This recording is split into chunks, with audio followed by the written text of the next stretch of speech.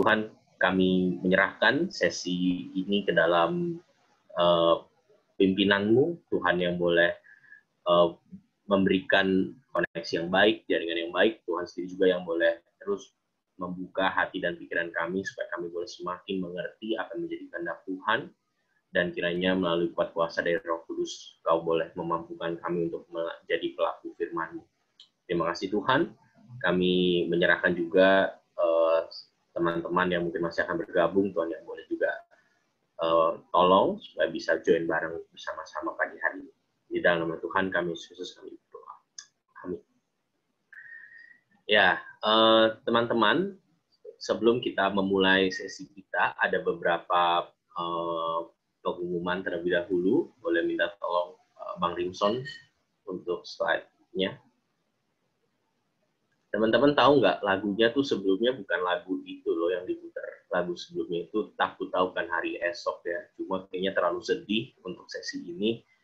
Uh, makanya jadi diputar tadi lagu yang lebih ceria. Teman-teman, uh, yang pertama saya mengajak kita untuk boleh menyalakan LED uh, kamera kayak gitu ya, karena di sini ada 300 orang, ada 300 peserta, yang teman-teman bisa kenalan kayak gitu ya. Jadi mungkin aku berikan waktu satu menit buat kita nyalain kamera dan boleh say hi dada-dada. Ya nggak tahu kan siapa aja siapa aja ngelihat gitu kan siapa tahu ada yang kepincut gitu kan. Jadi mari aku aja teman-teman buat nyalain kameranya dan boleh nyapa. Halo, selamat pagi semua. Oke, sambil scroll galerinya. Halo, selamat pagi. Ya, teman-teman uh, di dalam KTA memang kalau ada teman-teman baru pertama kali datang kita setiap tahun memang uh, melakukan sesi terpisah untuk single termasuk mereka yang sudah berpasangan atau belum berpasangan atau belum nikah kayak gitu ya. Dan di dalam uh, kerinduan untuk boleh memberikan ruang dan kesempatan untuk berkenalan satu sama lain nah panitia di tahun ini karena nggak bisa ketemu di kinasi gitu ya uh, masih terus mau mengusahakan kesempatan untuk bertemu atau berkenalan satu sama lain. Nah, karena itu tahun ini panitia membuat dalam bentuk uh, online form. Ini bukan ngasih lamaran ya, bukan bukan ngasih aplikasi CV kayak gitu. Tujuannya apa? Teman-teman, yang pertama uh, buat teman-teman yang memang terbuka untuk boleh berkenalan lebih jauh atau mungkin terbuka untuk boleh uh, diperkenalkan bahkan dengan beberapa rekan yang mungkin selama KTA ya nggak bisa ngobrol langsung dan sebagainya. Panitia dengan kerendahan hati dan dengan ketulusan mengajak kita untuk mengisi uh, link itu ya bit.ly slash capsule single uh, itu nanti di sana akan ada form, isinya nggak macam-macam, lebih ke arah pribadi, identitas pribadi dan preferensi, mungkin apa sih yang menjadi karakter pasangan itu sebagainya. Dan nanti teman-teman ya dalam anugerah dan kedaulatan Tuhan akan uh, coba diperkenalkan atau uh, dikasih informasi tentang teman-teman lain yang mungkin juga tertarik untuk berkenalan lebih lanjut atau terbuka untuk uh, berkenalan lebih lanjut kayak gitu. Jadi uh, itulah usaha panitia di tengah keterbatasan untuk boleh terus menjadi fasilitator dan uh, inisiator di dalam uh, kesempatan kali ini. Jadi uh, setahu linknya udah ditulis sama Bang Rimson. Uh, ya itu ya bit.ly slash capsule single. Feel free teman-teman buat isi, buat apa uh, nanti sepanjang acara boleh maksudnya isi gitu ya. Oke, itu aja teman-teman pengumuman singkatnya. Nah, saat ini kita akan uh, mendengarkan sharing dari dua narasumber. Yang pertama itu ada Kak Dewi. Uh, berikut ada beberapa profilnya. Silakan Kak Rimson.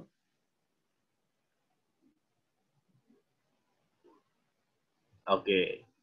Uh, Kak Rina atau Kak Dewi biasanya kita panggilnya.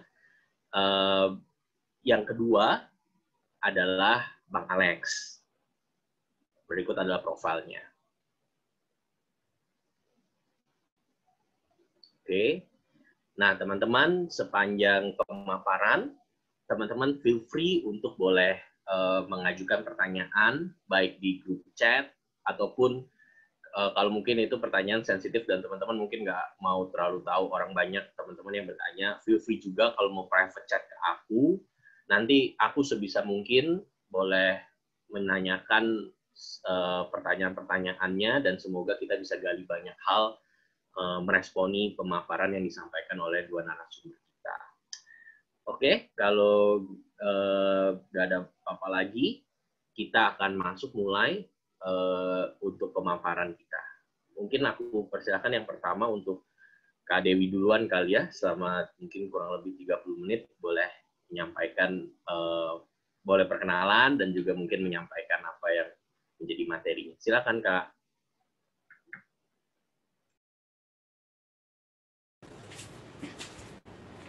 Selamat pagi teman-teman semua. Uh, gimana suara saya? Kedengeran nggak? Dengeran ya. Jelas, Kak. Oke, okay, thank you. Saya dengar tadi yang hadir banyak juga ya. Puji Tuhan. Semoga uh, sesi ini uh, berguna bagi teman-teman semua. Uh, ya, masa single. Ah, sorry, sebelumnya saya masih mau memperkenalkan diri saya sedikit lagi bahwa saya sudah menikah 27 tahun. Ya tahun 93 saya menikah. Dan dikaruniai tiga anak. Satu uh, Rianda di uh, Singapura.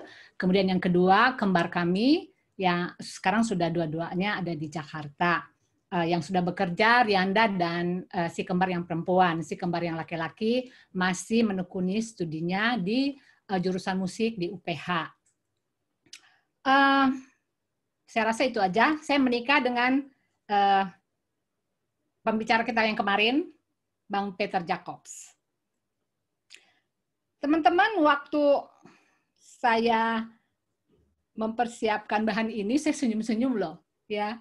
Saya senyum-senyum mengingat masa single, masa single saya yang penuh dengan uh, apa kebahagiaan gitu, yang seru gitu ya, dan uh, sayangnya saya nggak bakalan bisa balik ke masa single saya kan.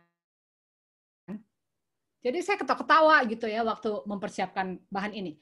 Seka, karena sekali kita uh, berkomitmen untuk menikah, masuk ke dalam uh, pernikahan, no turning back. No turning back, no turning back. Jadi kalau uh, kita masih single, nikmati, nikmati masa itu, ya. Uh, tetapi dinikmati dalam koridor yang sesuai dengan identitas kita, yaitu sebagai anak-anak terang, sesuai firman Tuhan di dalam Efesus 5 ayat 8 sampai 10. Efesus 5 ayat 8 sampai 10. Saya bacakan ya. Memang dahulu kamu adalah kegelapan. Tetapi sekarang kamu adalah terang di dalam Tuhan. Maaf sebentar, anak saya lagi bantu saya untuk menampilkan slide-nya.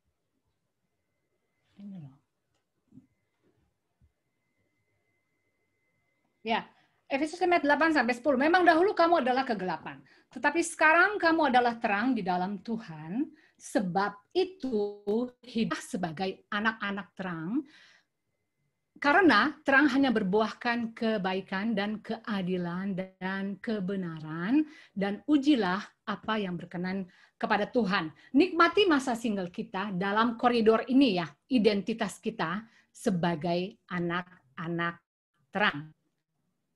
Ada beberapa hal yang uh, bisa saya ingat-ingat yang uh, kita patut nikmati selama dalam masa single. Yang pertama,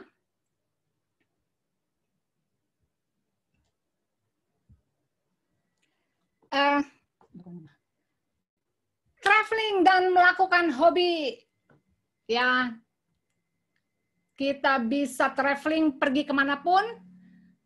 Mungkin kita bisa pergi diving ke mana pun selama uang masih ada ya nggak perlu khawatir dengan orang yang kita tinggalkan di rumah gitu jadi kita bebas mengeksplor alam ciptaan Tuhan, menikmatinya bersama dengan teman-teman ya. Nikmati itu. Karena uh, segala sesuatu ada masanya. Segala sesuatu ada musimnya. Jadi nggak perlu khawatir ya, karena nggak ada orang-orang juga yang mengkhawatirkan kita, kecuali mungkin orang tua kita ya. Tetapi nggak ada istri atau anak-anak yang menunggu-nunggu kita di rumah untuk kita pulang. Lalu yang kedua, yang patut kita syukuri adalah bebas bergaul dengan dan berkenalan dengan siapa saja.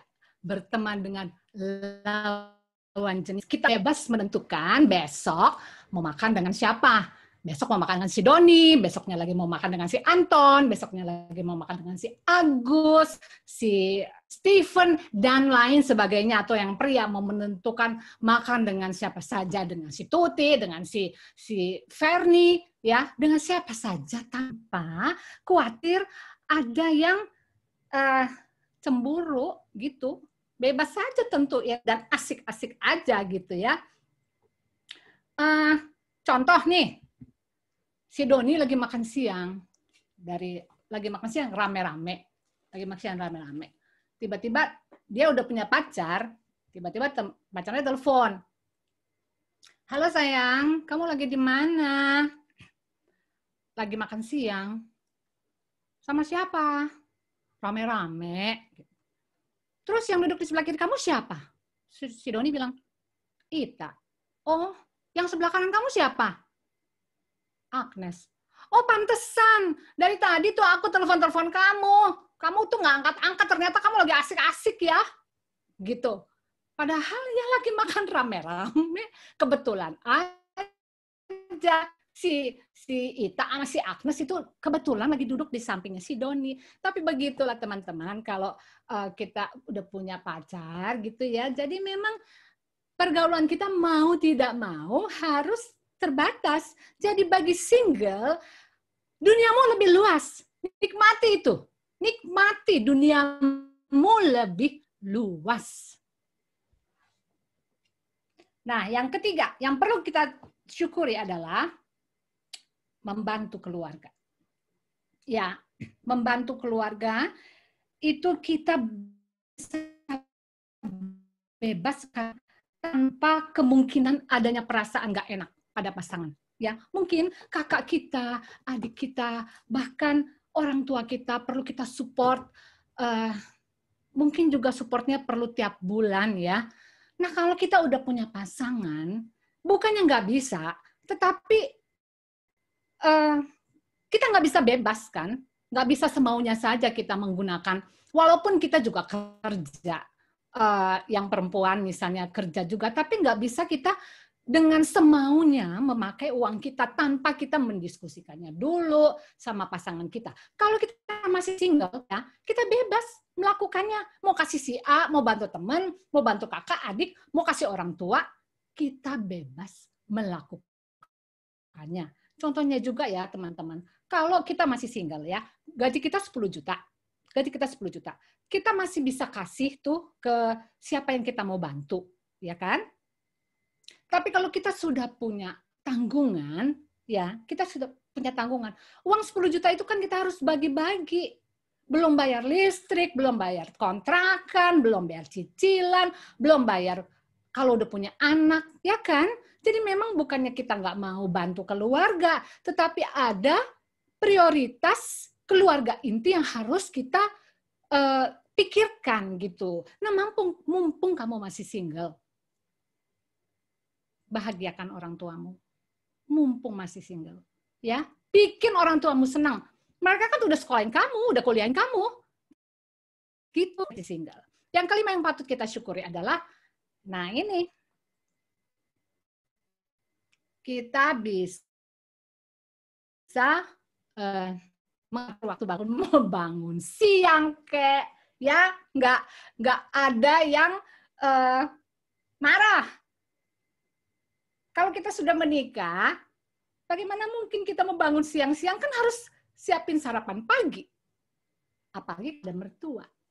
Ayo berani nggak siapin sarapan pagi buat anaknya. Jadi nikmati bisa bangun siang, uh, bebas, nggak ada yang nggak dienakin, ya. Oke, kemudian yang ke selanjutnya, yang patut kita syukuri dalam masa single adalah apa nih? Mengatur makanan sendiri. Nggak perlu masak. Bagi perempuan-perempuan, ya kalau pengen makan ini itu tinggal Gojek, GoFood, beli atau yang masih tinggal dengan orang tua, numpang orang tua kan, makannya kan? Nggak perlu. Saya cerita ya, waktu uh, saya masih single, itu sampai saya sebelum menikah, saya nggak bisa masak. Saya nggak bisa masak. Kalau saya berada di dapur, mau bantu orang tua saya, ibu saya uh, masak, malah ibu saya bilang, udah deh, kamu sana aja deh, kamu bukan bantuin, kamu bikin tambah repot aja gitu. Karena waktu mama saya bilang, Dewi, ambil dulu itu jahe dua ruas. Terus saya bilang, yang mana mam? Soalnya yang beruas-ruas ini banyak. Banyak macamnya nih yang. Karena ada lengkuas, ada kunyit, ada jahe gitu ya. Terus mama saya bilang, eh, ya sudahlah, sanalah kau, nggak usah kau di sini gitu ya. Belum lagi soal merica uh, ketumbar. Waktu itu saya nggak tahu tuh bedain merica ketumbar sama-sama bulat, gedenya juga sama-sama gitu ya.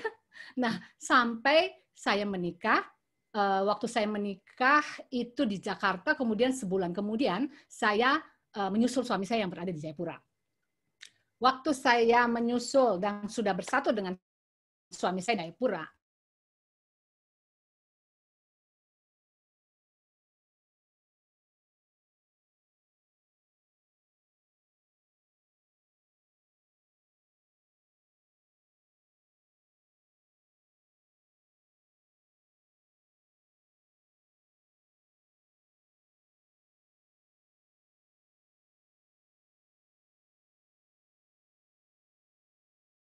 sih ya bawa buku buku resep dari Jakarta, tapi saya tidak expect uh, secepat itu gitu. Saya harus terjun uh, berjibaku ke ke dapur gitu ya.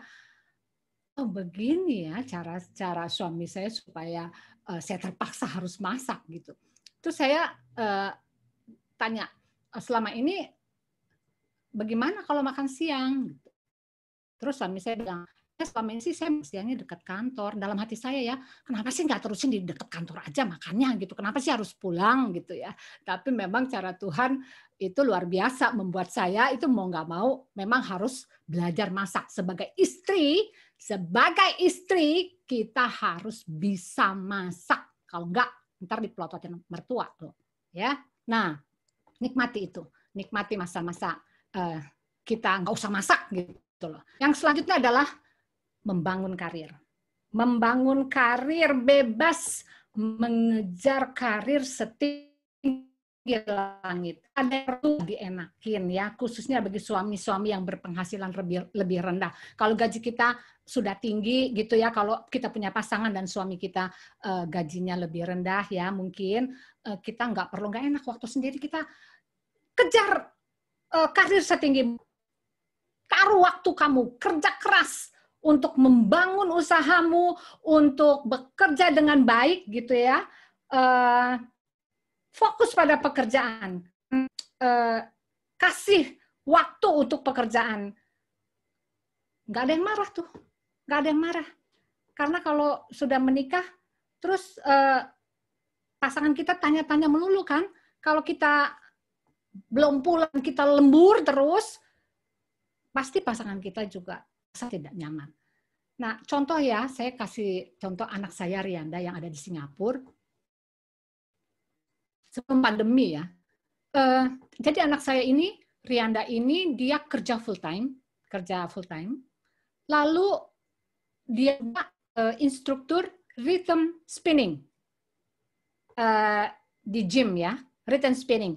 Yang satu kali bersepeda itu uh, mengeluarkan seribu kalori selain jadi instruktur spinning, dia juga nyanyi di kafe, nyanyi di kawinan. Jadi dia tuh begitu sibuk, begitu sibuk ya. Tapi nggak apa-apa, karena selama masa single nggak apa-apa lakukan semua hal yang yang yang positif gitu ya, karena segala sesuatu ada musimnya. Nggak mungkin kita, saya udah bilang juga ke anak saya, Rianda, Rianda, inget ya, nanti kalau kamu sudah menikah, kamu nggak bisa lagi seperti ini. Dari pagi, siang, sore, malam, kamu terus uh, sibuk ya dengan kegiatan-kegiatan yang saya tahu ya, positif, bagus.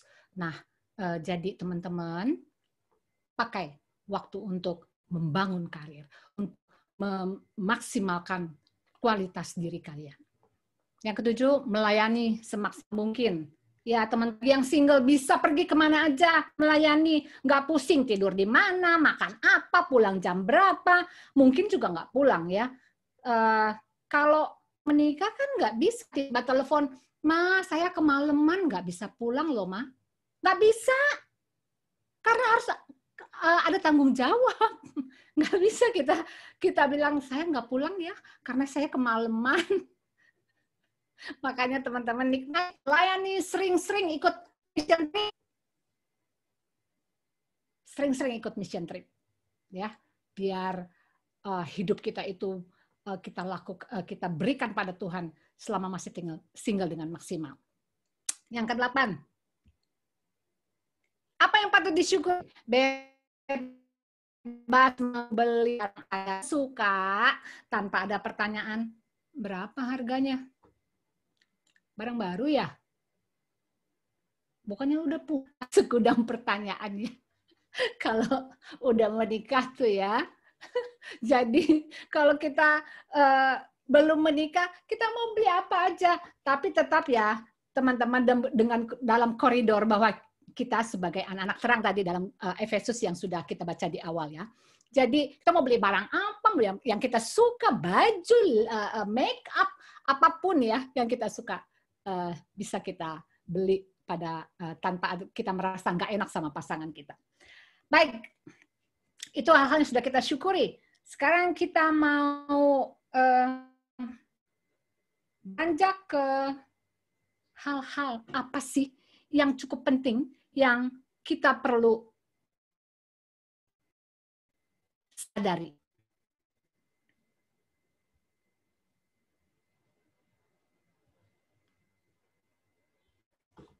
Ya, yaitu mengenai fisik, soal fisik.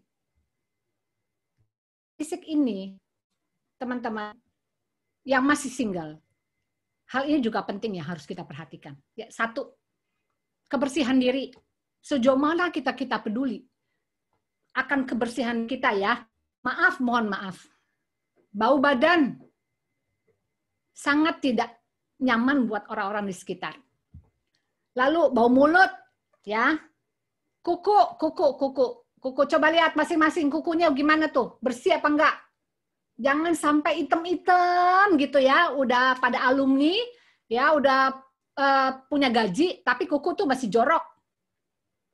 Rambut minyak, kulit wajah berminyak, penuh komedo di mana-mana gitu ya. Aduh, uh, gemes tuh saya kayaknya kalau lihat orang yang uh, mukanya kotor, saya pengen pengen bersihin gitu ya. Dan lain-lain, dan lain-lain. Nah, itu perlu diperhatikan. Teman-teman jangan terlalu cuek ya. uh, kalau kita nggak bisa menangani sendiri kan ada salon, ada dokter kulit, ya pergi pakai duit kalian. Jangan pelit kepada diri supaya supaya uh, uh, diri kita bersih, ya.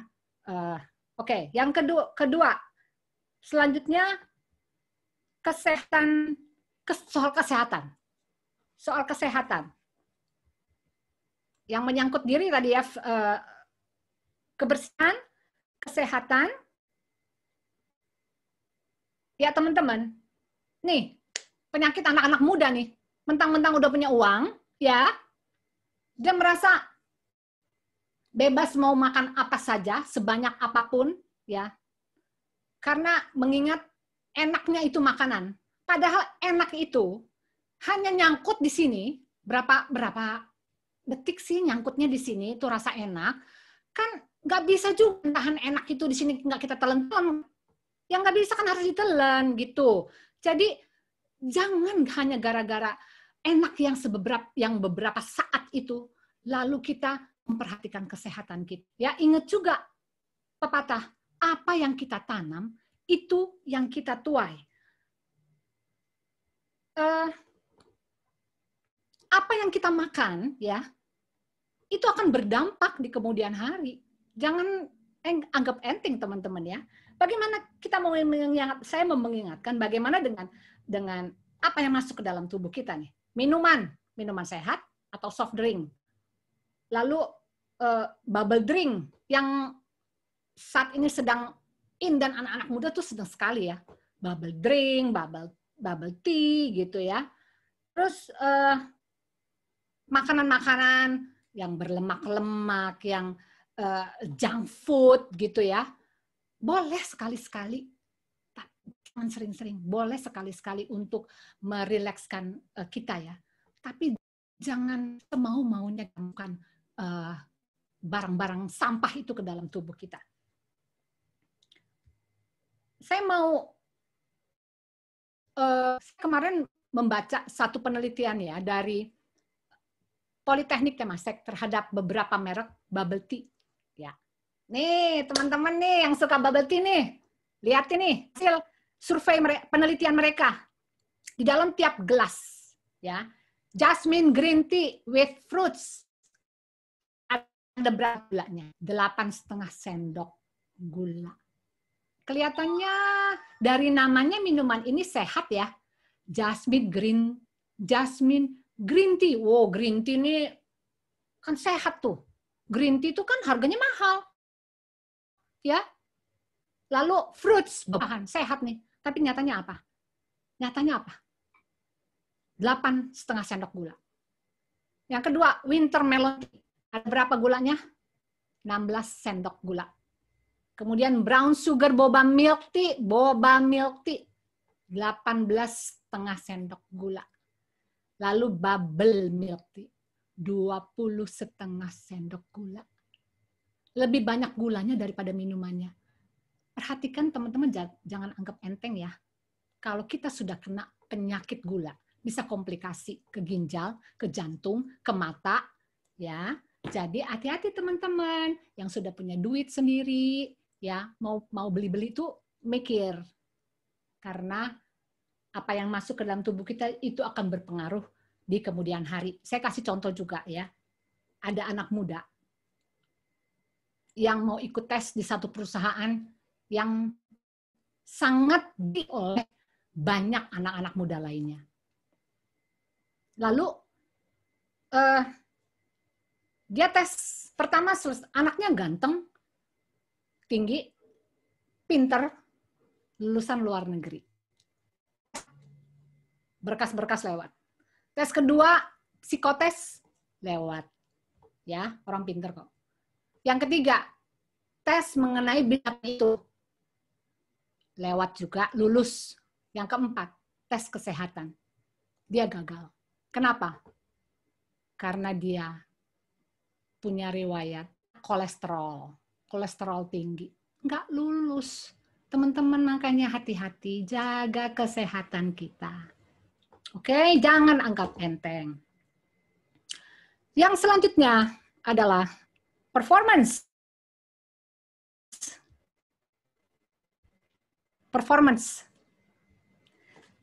Sehat sudah bersih sudah tapi selebor lusuh. Aduh nggak enak dilihat. Ya teman-teman yang masih single perhatikan penampilan kita. Rapi bukan? Nggak perlu mahal. Yang penting bagus dan pantas di badan kita. Jangan terlalu cuek juga. Dan tahu peruntukan uh, uh, baju apa, uh, untuk ke mana ya. Jangan ke gereja pakai kaos oblong, pakai jeans belel gitu. Sementara kalau kita mau pergi ke mall, kita berpatut dandan dengan patut, lebih rapi, lebih bagus. Kebalik, jangan ke dibalik ya. Uh, atau kita mau ke gereja kayak orang mau ke pesta, bajunya eye catching, lalu pakai aksesoris segaban-gaban gitu ya. Sementara waktu kita mau ke pesta, kita pakai model itu yang kayak karung-karung atau daster kayak kita mau tidur ya jangan dikebalik-balik harus tahu penempatan eh, mana ya waktunya untuk apa dan coba coba kita kan bergaul ya kita bisa melihat orang di sekitar kita dengan mereka itu berpenampilan jadi kita harusnya juga belajar dari mereka mari para single lihat performance kita. Nggak perlu yang mahal-mahal. Yang penting pantas ya dan uh, cocok di badan kita. Berbicara mengenai fisik, kita mengingat 1 Korintus 16 ayat 19 sampai 20. Ya, mari kita baca bersama-sama teman-teman. Saya baca di rumah dan teman-teman baca di rumah masing-masing. 1 Korintus 6 ayat 19 sampai 20 yang mengatakan tiga empat atau tidak tahukah kamu bahwa tubuhmu adalah bait Roh Kudus yang diam di dalam kamu. Roh Kudus yang kamu peroleh dari Allah dan bahwa kamu bukan milik kamu sendiri sebab kamu telah dibeli dan harganya telah lunas dibayar. Karena itu muliakanlah Allah dengan tubuhmu. Mari saya bacakan uh, kalimat yang saya bold ya, yang saya bold kita baca sekali lagi. Tiga empat. Tubuhmu adalah bait Roh Kudus yang diam di dalam kamu. Roh Kudus yang kamu peroleh dari Allah. Karena itu muliakanlah Allah dengan tubuhmu. Teman-teman, mari kita muliakan Allah dengan uh, kebersihan tubuh kita dengan kesehatan tubuh kita, dengan penampilan kita, agar dari segala orang yang dari uh, orang melihat kita, mereka bisa memuliakan Allah. Bagi saya mau ngingetin ya teman-teman yang wanita ya, mohon maaf lahir batin saya harus ingatkan, kalau pakai baju nggak perlu uh, menunjukkan bagian-bagian tertentu, nggak perlu ya. Kamu pakai baju yang rapi, uh, sopan aja juga. Tetap kalau kamu cantik ya tetap cantik ya. Nggak perlu memperlihatkan bagian-bagian ter, tertentu. Um, karena kalau ada terjadi sesuatu ya kalau ada terjadi orang yang lihat ngeliatin kamu gitu dengan dengan mata yang uh, penuh nafsu terus kamu marah kenapa marah gitu kan ya pas, pasti kita kita nggak suka orang melihat kita uh, cara melihatnya seperti itu kan ya Padahal dia melihat gitu kan karena kita juga yang bikin, gitu kan. Jangan bilang emang otaknya aja yang mesum. Jangan bilang begitu. Itu itu timbul juga karena kita. Karena kita yang melakukannya, gitu ya. Ya, itu uh, pesan saya. Nah, teman-teman yang baik, setelah hal-hal yang bisa dilihat dengan kasat mata, kita juga perlu melihat juga ya. Perlu peduli juga dengan hal-hal soal yang spiritual ya yaitu keimanan Keim, ke, keimanan kita. Para single tadi saya bilang uh, nikmati nikmati masa-masa kita juga dalam hal ke, keimanan kita. Bagaimana kehidupan spiritual Tuhan? Kalau punya relasi relasinya seperti apa? Bahwa relasi dengan Tuhan akan menentukan langkah-langkah dan keputusan kita dalam kehidupan ini. Dari sejak teman, usahakan untuk setia bergantung pada Tuhan, supaya kita bisa melewati musim demi musim dalam kehidupan. Ya, uh, sadar nggak sih bahwa itu loh, jangan sok kuat bahwa si iblis itu selalu mencari celah bagi kita ini. Dan iblis itu kan malaikat kan? Malaikat yang melawan Tuhan kan? Yang udah pasti kalau kita kita perang sama dia udah pasti dia menang gitu kan? Kecuali kecuali kalau kita berlindung di balik pribadi yang lebih berkuasa dari dia, yang lebih hebat dari si iblis yaitu Tuhan. Makanya kita harus tetap berlindung menyertakan Tuhan dalam kehidupan kita supaya kita bisa bertahan bahkan kita menang dalam melewati uh, godaan demi godaan. Anak muda itu ya godaannya besar sekali, apalagi kalau dia sudah punya uang. Nah, uh, sebagai orang-orang yang saja tadi sebagai anak-anak terang ya. Kita harus terus meningkatkan spiritualitas kita. Menjadi orang-orang yang takut akan Tuhan. Dalam 6b. Karena takut akan Tuhan, orang menjauhi kejahatan. Amsal akan Tuhan ialah membenci kejahatan. Aku benci kepada kesombongan, kecongkakan, tingkah laku yang jahat, dan mulut penuh tipu muslihat. Orang yang takut akan Tuhan itu seperti apa sih? Apakah mereka yang eh, penuh dengan aktivitas di gereja?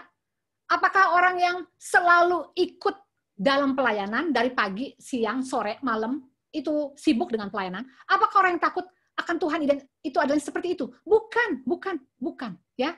Tapi orang yang takut akan Tuhan adalah orang yang menjauhi kejahatan. Bahkan membenci kejahatan. Demikian Amsal 8 eh, ayat 13 ditulis ya, membenci kejahatan. Lalu selanjutnya, keimanan kita. Bagaimana dengan kekudusan hidup kita? Bagaimana dengan kekudusan hidup kita, teman-teman, anak-anak muda?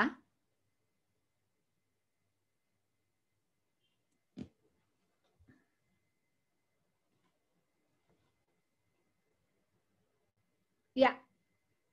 Masa-masa uh, masa-masa single dan jomblo ini, dalam masa ini ya, teman-teman. Bisa nggak kita menetapkan hati untuk tidak menajiskan diri? Bisa nggak kita mengambil keputusan untuk menjaga kekudusan hidup kita?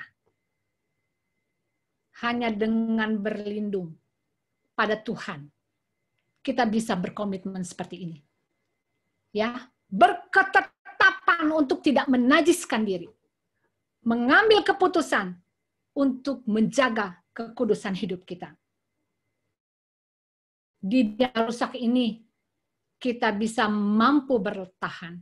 Jika kita selalu lari kepada Tuhan dan berpegang terus kepada tangan Tuhan yang kuat, itulah yang bisa menjaga diri kita dari segala hal-hal yang yang najis ya teman-teman. Baik itu uh,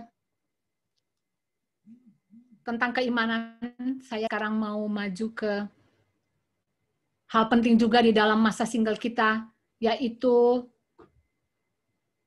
karakter. Karakter. Memiliki karakter yang baik merupakan harta dalam kehidupan kita. Ya, karakter yang baik itu harta dalam kehidupan kita. Hidup jadi lebih mudah kalau kita punya karakter yang baik. Karena apa? Karena dengan karakter yang baik itu bisa meminimalkan eh, konflik-konflik dengan eh, orang-orang lain di mana kita berada, ya. Jadi apa tuh Karakter apa tuh kira-kira yang perlu kita bangun di dalam diri kita sebagai single. Rendah hati. Mazmur 149 ayat 4 ya sebab Tuhan berkenan kepada umatnya ia memahkotai orang-orang yang rendah hati dengan kesalahan ya rendah hati itu orang yang rendah hati itu adalah orang yang eh, menyadari kelemahannya sehingga dia juga dapat memaafkan orang lain karena dia tahu bahwa dia orang yang nggak sempurna, jadi dia tuh mudah juga untuk memaafkan orang lain. Uh, orang yang rendah hati juga mau belajar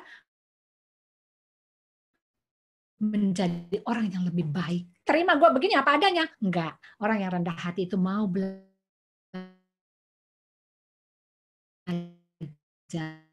untuk menjadi orang yang hati itu tidak mempertahankan posisinya, dirinya, walaupun memang saat itu dia uh, berada pada posisi tertentu, tapi dia tidak bergantung dan mempertahan itu karena uh, mungkin pada satu saat dia harus merendahkan dirinya di posisi yang uh, harusnya uh, pada saat itu dia berada gitu ya. Jadi nggak nggak nggak fokus kepada uh, siapa dia.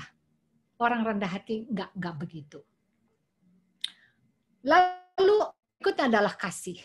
Ya, karakter kita kasih 1 Korintus 13. Aduh, teman-teman bisa baca lah di situ 1 Korintus 13 dan saya hanya mengutip beberapa saja. Sabar ya sabar, mau berkor, sabar mampu mengelola emosi dengan baik sehingga tidak merugikan diri sendiri atau orang lain. Ya, sabar tuh mampu mengelola emosi. Ya, jadi nggak mudah marah, nggak mudah tersinggung, nggak mudah sakit hati dan lain sebagainya. Sebaliknya, dapat bersikap tenang dalam menghadapi masalah serta mampu mengekspresikan perasaannya dengan tepat. Nah, itu sabar. Jadilah orang yang sabar, ya teman-teman.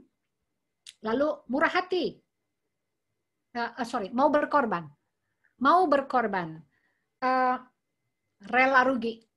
Ya, orang yang mau berkorban tuh nggak mau nggak mikirkan dirinya sendiri melulunya gua gua gua gua egois yang penting aku nyaman yang penting aku udah tercukupi. Aku aku aku aku.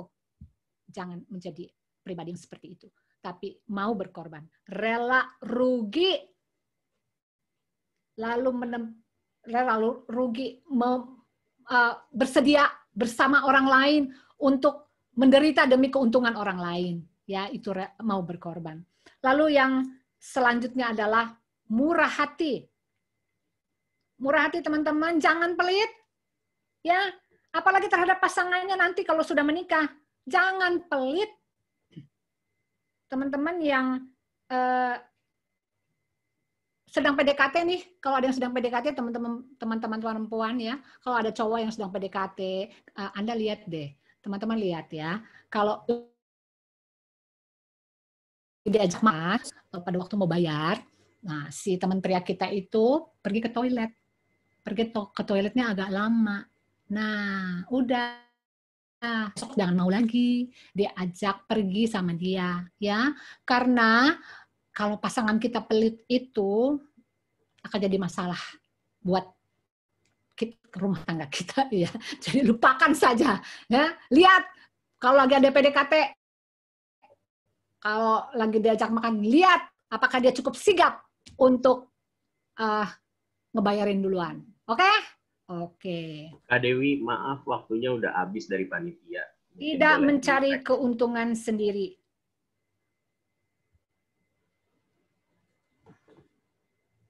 Tidak mencari keuntungan diri sendiri, teman-teman. Uh, uh, jangan cari selamat sendiri. Jangan fokus pada diri sendiri. Tadi saya bilang juga jangan egois. Nah, itu uh, hal yang uh, masuk ke dalam kasih. Nah, selanjutnya adalah bertanggung jawab, siap menanggung konsekuensi atau akibat atas pilihan dan perbuatannya. Ya, teman-teman, karakter itu bertanggung yang harus ada dalam diri kita, bertanggung jawab dapat menyelesaikan pekerjaan atau tugasnya dengan baik. Dewasa ya. kita berani menanggung resiko dari keputusan yang kita ambil. Itu tanggung jawab. Karena ini juga akan sangat penting ketika kita nanti punya pasangan. Lalu bijaksana, Matius 2, Matius 7 24. Setiap orang yang mendengar perkataanku ini dan melakukannya, ya sama dengan orang yang bijaksana yang mendirikan rumahnya di atas batu. Bijaksana itu nggak bisa dipelajari. Bijaksana itu datangnya dari hikmat Tuhan. Bijaksana itu adalah orang yang bijaksana adalah orang yang mengenal isi hati Tuhan. Ya, bijaksana bukan orang pinter. Orang pinter belum tentu bijaksana. Tapi orang bijaksana itu adalah harta dibutuhkan di dalam kalau kita nanti punya pasangan. Dalam rumah tangga, bagaimana menghadapi anak-anak, bagaimana menghadapi keluarga, orang tua, mertua, adik kakak lain. Dalam menghadapi masalah-masalah rumah tangga ya. Jadi bijaksana. Lalu apalagi setia. Setia. Dalam Hosea 6 Sebab aku menyukai kasih setia dan bukan korban sembelihan. Dan menyukai pengenalan akan Allah lebih daripada korban-korban bakaran. Setia itu penting teman-teman. ya Ber, Berdiri teguh dalam komitmen kita. kita dalam janji-janji kita. ya Penting setia. Lalu apalagi? Jujur. Ayat 8 ayat 6. Kalau engkau maka tentu ia akan bangkit demi engkau. Dan ia akan memulihkan rumah yang adalah hakmu. Amsal 23:16. Jiwaku bersukaria karena bibirmu mengatakan yang jujur. Amsal 16 ayat 13. Bibir yang benar dikenan raja dan orang yang berbicara jujur. Akhirnya teman-teman dari tiga ayat ini saja kita tahu bahwa Tuhan itu suka dengan orang yang jujur. Ya, uh, di Amsal Amsal uh, sorry Ayub 8 ayat 6 dibilang apa? Tuhan akan bangkit demi engkau. Engkau orang yang jujur. Dan Tuhan akan memulihkan rumah yang adalah hakmu. Mari kita menjadi orang yang jujur. Ini penting juga kalau kita punya uh, uh, pasangan ya. Jujur, berani nggak kita terbuka dalam mas, dalam kelemahan kita nanti kepada pasangan kita. Berani nggak kita uh, kita harus menceritakan uh, ke pasangan kita kan berapa gaji kita. Teman-teman nggak semua loh pasangan itu uh, mau menceritakan gajinya. Tapi ini harus sebetulnya kejujuran dalam segala hal kalau kita sudah berumah tangga. Ya, jadi dari masa single kita belajar itu jujur supaya ini bekal kita kalau kita nanti sudah menikah. Uh, tadi saya bilang gaji yang nggak pernah diceritakan sesudah nikah gitu ya. Banyak teman-teman saya yang hidupnya, teman-teman saya artinya yang posisi sebagai istri, yang sebagai istri dia nggak puas, nggak lengkap karena sekian puluh tahun sudah menikah, dia nggak tahu gaji suaminya berapa teman-teman yang pria, istrimu tuh bukan pembantu ya.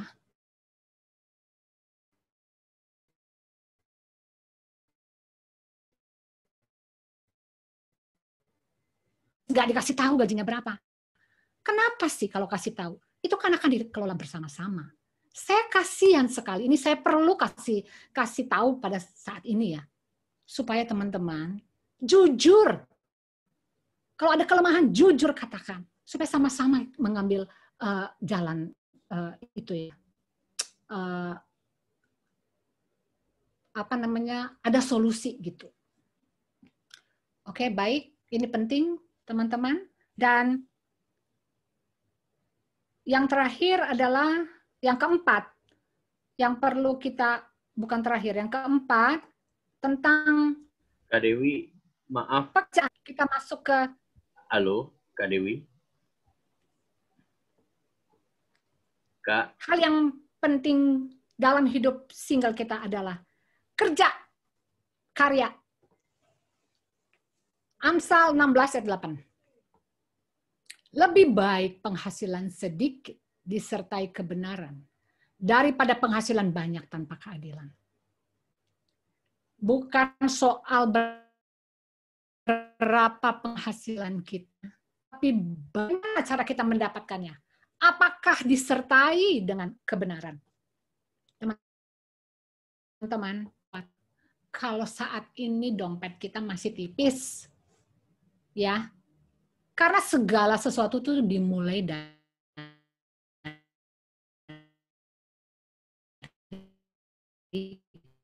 kecil.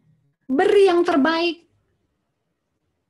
Lakukan dengan maksimal sehingga kita masuk di dalam kelompok orang-orang yang bisa diperhitungkan.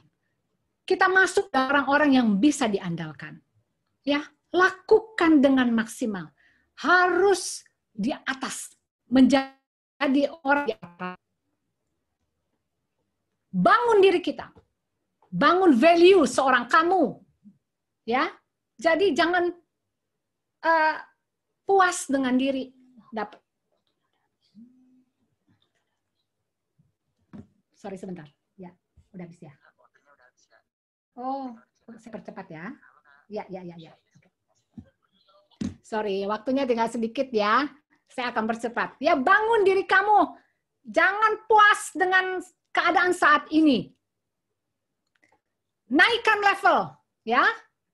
Karena uh, masa single adalah juga masa untuk mengembangkan diri, masa untuk meningkatkan kualitas hidup kita. Dan yang terakhir adalah pergaulan. Ini penting, penting sekali. 1 Korintus 5:33 pergaulan yang buruk merusakkan kebiasaan yang baik. Di mana kita bergaul, dari situlah kemungkinan besarnya kita mendapat pasangan hidup. Ya teman-teman, hati-hati kita bergaul karena pergaulan itu memberi efek kepada kita, membentuk karakter kita juga. Nah, itu teman-teman yang bisa saya bagikan. Are you ready? Are you ready for him? Go get the one God provide. Jangan ready for him, for her. God bless you. Oke, terima kasih Kak Dewi untuk pemaparan materinya. Teman-teman, tanpa uh, membuang waktu lagi, aku langsung persilahkan aja buat Kak Alex, giliran Kak Alex untuk boleh menyampaikan materinya. Kita mungkin bisa uh, say thanks atau ngucapin terima kasih. Kalau ada pertanyaan pun juga boleh silahkan diajukan di grup chat ya. Silakan Bang Alex. Shalom, selamat pagi teman-teman sekalian. Makasih buat Kak Dewi yang sudah membagikan begitu luar biasa. Jadi ingat masa single. Dan bukan hanya itu, persiapan yang tadi Kak Dewi sampaikan adalah modal yang sangat penting ketika teman-teman masuk ke dalam sebuah relasi yang lebih jauh dalam kaitan panggilan untuk menikah ya. Jadi saya berharap sekali teman-teman bisa benar-benar uh, take note dari apa yang Kak Dewi sampaikan karena sebenarnya persiapan dalam masa single itu adalah persiapan yang sangat berharga untuk masuk ke dalam selanjutnya ya. Nah, ketika kita sudah melewati masa-masa itu dan Tuhan berikan kesempatan kita lebih jauh lagi, boleh uh, mengenal lawan jenis dan kemudian masuk dalam relasi yang lebih serius. Nah, ini juga sebuah tahap yang perlu terus kita ingat untuk sama-sama kita kita bawa di dalam doa, di dalam keseriusan di hadapan Tuhan. Sorry. Nah, saya mulai dengan ayat ini. Sebenarnya Amsal sendiri mengingatkan kita ya. Amsal 30 ayat 18 dan 19. Kalau ada yang belum pernah tahu bahwa ada ayat semacam ini di Alkitab, nah ini hari untuk paham ya. Ada tiga hal yang mengherankan aku, bahkan ada empat hal yang tidak ku mengerti. Jalan Raja Wali di udara, jalan ular di atas cadas, jalan kapal di tengah-tengah laut, dan jalan seorang laki-laki dengan seorang gadis. Lihat terjemahan bahasa Indonesia sehari-harinya. Ada empat hal yang terlalu sukar bagiku untuk dimengerti, kata penulis Amsal, burung Raja Wali yang terbang di udara, ular yang menjalar di atas batu karang, kapal yang berlayar di tengah lautan, dan sepasang muda-mudi yang sedang jatuh cinta. Kira-kira apa sih yang dimaksud dengan ayat ini? Secara khusus saya harus ingatkan bahwa memang di dalam konteks uh, relasi pasangan ya yang jatuh cinta secara khusus, teman-teman itu nggak ada teorinya. Jadi kalaupun kita melihat setiap relasi itu unik, relasi yang berlaku dalam hidup saya mungkin beda dengan ceritanya teman-teman yang mungkin dalam situasi yang tentunya berbeda juga. Dalam jatuh cinta itu ada banyak hal yang mungkin terjadi dan ada banyak cerita yang mungkin akan mewarnai perjalanan cinta teman-teman. Tetapi karena itu saya harus ingatkan, bukan berarti tidak ada prinsip. ya. Jadi saya hanya membagikan hari ini prinsip, menolong teman-teman melihat lebih jauh. Kenapa? Karena biasanya pertanyaan itu kaitannya sama kasus. Kalau begini-begini gini gimana bang? Kalau gini-gini gini gimana kak ya? Nah tentu semuanya ada koridor yang perlu kita ingat. Kita sedang bicara sebagai anak Tuhan, kita sedang bicara dalam kaitan ada prinsip kebenaran firman yang harus mewarnai perjalanan cinta kita juga. Kak Dewi sudah banyak bukakan itu tadi. Saya sendiri terkesan dengan ayat 1 eh, Korintus 10 ayat 31 ya waktu Paulus berkata baik engkau makan maupun minum harus diberikan atau melakukan sesuatu yang lain lakukanlah untuk kemuliaan Tuhan. Hal yang nampaknya mungkin bahasa anak sekarang begitu receh ya. Makan, minum. Kalau makan dan minum saja untuk kemuliaan Tuhan, apalagi membangun relasi. Jangan kemudian jadi dikotomi, kesannya hanya Tuhan hanya berkuasa atas hal-hal yang rohani, nah masalah teman hidup dan seterusnya ini cuma urusan saya dan pilihan saya semata. Jadi saya berharap kita punya prinsip yang jelas, kita punya pemahaman yang jelas. Di dalam kita mengerti juga relasi yang lebih jauh dalam hal cinta, dalam pasangan lawan jenis, kita bicara ini harus dibingkai dengan benar. Bingkainya adalah pernikahan. Jadi, saya pikir sejak di pelayanan mahasiswa, pelayanan siswa kita sudah diingatkan bahwa tujuan yang penting di dalam kita sama-sama memasuki relasi yang mungkin disebut dengan pacaran gitu ya, yang tentu dimulai dengan PDKT dan kita akan bicara itu nanti ya. Tapi bingkailah itu dengan tujuan yang jelas bahwa ini sedang bicara relasi yang serius, persiapan masuk ke dalam relasi berumah tangga. Jadi karena itu, kalau kita membingkai ini untuk kemuliaan Allah seperti makan dan minum, apalagi ditambah dengan ini jelas untuk pernikahan, maka kalau pernikahannya kudus, persiapannya pun harus kudus. Jadi itu membingkai pemikiran kita bukan sekadar menikmati relasi samata sebagai sesuatu yang kayaknya cuma uh, cintaku cintamu begitu ya. Karena itu saya harus menuliskan ini ya. Harus dipikirkan dengan serius. Secara khusus dampak terhadap pribadi secara khusus. Nah, saya saya setuju dengan Kak Dewi. Saya pribadi sangat menekankan masalah keimanan ya, masalah spiritualitas. Sehingga pertanyaannya, apakah dengan kita berpacaran makin bertumbuh atau makin jauh secara rohani, makin mundur atau tidak? Nah ini yang perlu kita bertanya juga. Karena itu saya pikir ya nggak usah lagi lah bertanya ya, perlu cari yang seiman atau tidak. Wow, saya pikir kita bahkan harus lebih dalam daripada sekedar seiman. Kita berbicara bukan cuma seiman, tetapi orang yang bertumbuh di dalam Tuhan. Teman-teman, banyak orang yang cuma cari asal Kristen, yang penting Kristen. Tapi pertanyaannya, dia Kristen yang bertumbuh atau tidak? Banyak uh, alumni PMK, pelayanan mahasiswa Kristen, ternyata ketika cari pasangan hidup, mungkin juga umur yang makin bertambah, yang penting asal Kristen.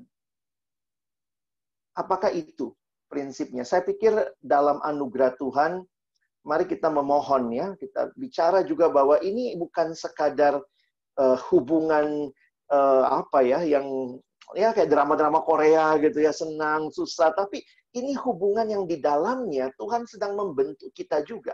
Karena itu siapa yang jadi pasangan kita akan sangat penting. Dan juga secara khusus bagi saudara-saudara yang terlibat di dalam persekutuan, dan saya pikir ini baik sekali ya, waktu berpacaran sebaiknya komunitas tahu. Komunitas diberi akses, mungkin orang-orang yang dekat sama kita, pemimpin kelompok kita, ada mentor-mentor rohani yang menolong teman-teman. Apakah ini jadi teladan atau jadi batu sandungan? Jadi beberapa kali ada yang berpacarannya itu di dalam apa ya? Di dalam dunia milik berdua. Kita pokoknya ini aja ya, jangan kasih tahu ya.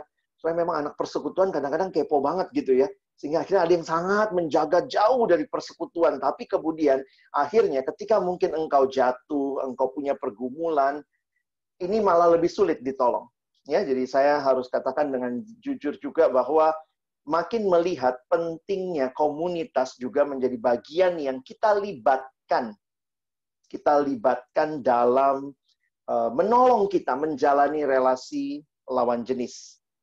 Nah, sekarang saya mungkin langsung masuk kepada hal yang praktis ya. Sebagaimana teman-teman lihat tadi, kalau kita sudah siap, nah mungkin orang suka bertanya, lalu bagaimana Bang memilih teman hidup? Aspek-aspek ada, apa yang perlu ada? teman-teman saya harus katakan uh, daftar ini adalah uh, semacam apa ya summary dari apa yang saya coba lihat, saya sendiri lewati, saya melakukan konseling dengan orang-orang yang punya pergumulan seperti ini. Saya pikir ini aspek-aspek yang perlu ada, yang harus bisa dengan seimbang kita sama-sama miliki. Sayangnya memang begini, bahwa di tengah-tengah dunia, setiap zaman itu ada spirit zamannya, ada semangatnya. Yang jujur aja di dalam zaman ini, spirit zaman yang sangat ditonjolkan, termasuk dalam banyak film-film yang teman-teman mungkin nonton, drama-drama yang teman-teman nonton, seolah-olah yang paling penting itu cuma perasaan. Saya harus katakan bukan berarti tidak ada perasaan terlibat. Perasaan itu penting, tapi bukan segala-galanya. Mungkin ini bisa kita bisa trace back ya. Kadang-kadang saya mikir gitu ya teman-teman ya, memang konteks Alkitab kan beda dengan kita ya. Di masa Alkitab, khususnya misalnya di zaman Tuhan Yesus, bahkan di zaman Perjanjian Lama, kebiasaan dan tradisi pernikahan di Israel itu biasanya melalui diperkenalkan. Jadi dicomblangkan. Jadi ada masa pertunangan misalnya. Jadi bukan seperti kita ya pacaran karena mereka tidak mengenal istilah itu sehingga memang di Alkitab kita tidak ada istilah pacaran. Pacaran itu tujuannya pengenalan sebelum pernikahan. Nah, di Alkitab masa itu ada juga yang disebut dengan pertunangan. Masih ingat yang terjadi pada orang tua Yesus, mereka ditunangkan. Jadi memang menarik sekali kalau perhatikan jadi aspek apa ya yang diperhatikan waktu itu untuk melangkah ke kehidupan pernikahan? Mungkin sih aspek yang paling sederhana akal sehat kali ya. Akal sehat misalnya eh, lihat Abraham itu cari pasangan buat Ishak, dia suruh balik ke keluarganya, cari tentunya orang eh, anak dari sanak keluarganya dengan pemahaman ya itu akan menolong tuh ya. Karena sudah kenal bibit bebek bobotnya. Kira-kira seperti itu. Jadi mungkin di masa itu faktor yang paling kuat bukan perasaan karena boro-boro perasaan orangnya juga belum ketemu kadang-kadang ya akal sehat memberikan satu pemahaman bahwa ada bibit yang baik dari keluarga yang baik, kalau kemudian mungkin aspek keempat sesuai dengan kehendak Tuhan, lalu kemudian masuk masa pertunangan, pertunangan ada komunikasi, lalu kemudian muncul perasaan. Teman-teman bisa, bisa paham yang saya maksud ya? Kadang-kadang tidak selamanya dimulai dengan perasaan semata-mata. Tapi memang generasimu, generasi kita sekarang abad modern itu karena melihat pacaran itu sebagai kesempatan membangun perasaan, mengenal lebih jauh, seolah-olah perasaan itu nomor satu. Jadi saya berharap kita bisa lihat ini dengan dengan baik ya, bahwa bukan hanya perasaan, tapi perlu perasaan perlu. Masa menikah sama orang yang kita nggak nggak punya perasaan apa-apa begitu ya? Tetapi ternyata selain perasaan ada akal sehat. Nah, ini kan pengenalan terhadap doi, latar belakangnya, pertimbangkan pro kontranya, keluarganya, kalau beda suku bagaimana, apakah nanti akan jadi masalah atau tidak, komunikasinya bagaimana. Ingat ini bukan pilih barang ya, ini relasi dengan manusia. dan juga aspek penyerahan kepada Tuhan. Sayangnya film-film, drama, dan banyak anak persekutuan hanya melihat perasaan. Sehingga jujur aja saya agak-agak kesel juga gitu ya. Hanya ya aku nggak dapat chemistry-nya bang, aku nggak dapat chemistry-nya. Tapi dia jelas-jelas anak Tuhan, bertumbuh. Nah ini yang kadang-kadang saya pikir, mari belajar dulu buka hati. Mana tahu waktu kamu buka hati, karena akal sehatnya kan ini anak dalam Tuhan gitu ya. Tapi karena banyak yang merasa nggak dapat chemistry-nya, so goodbye wah saya saya waktu belajar Alkitab saya kok ngelihat sedih banget ya apa yang kita angkat begitu tinggi di generasi ini itu nggak selamanya satu-satunya alasan aspek yang perlu ada teman-teman. Jadi sorry ya, eh, kadang-kadang gini,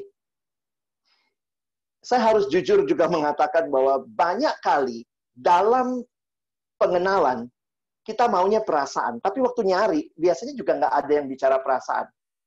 Jarang ya. Eh, perasaan itu ada kalau kita punya relasi sama dia, misalnya udah temen. Nah, itu tuh gampang tuh perasaannya. Tapi jujur aja, ketika saya melihat sekarang banyak yang cari teman hidup di aplikasi online yang cuma swipe, nge-like, swipe, nge-like gitu ya. Saya jujur aja katakan teman-teman, pasti awalnya juga nggak bicara perasaan kan. Cuman lihat fotonya akal sehat, oh hidungnya lengkap, mata ada, kuping ada, nggak tahu bagian tubuh bawahnya ada apa enggak gitu ya. Tapi itu apa yang dipakai? Saya pikir sih akal sehat. Belum ada komunikasi, baru doa sama Tuhan gitu ya. Jadi saya harus ingatkan, coba lihat dalam masa mengenal, baik sebelum pacaran atau sesudah berpacaran, aspek-aspek ini yang perlu terus bertumbuh. Dan saya ketemu beberapa orang yang agak menegaskan atau menekankan berlebihan. Berle ya, berlebihan pada satu aspek itu jadi blunder, teman-teman. Saya kasih contoh. Ada yang aspek yang dia bilang masalah penyerahannya. Jadi kemudian uh, dia jalanin pacaran.